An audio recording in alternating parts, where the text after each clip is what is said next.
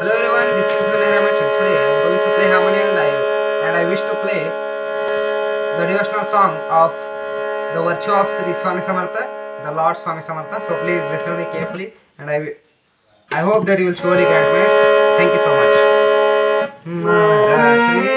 Swami Samartha Swami Samartha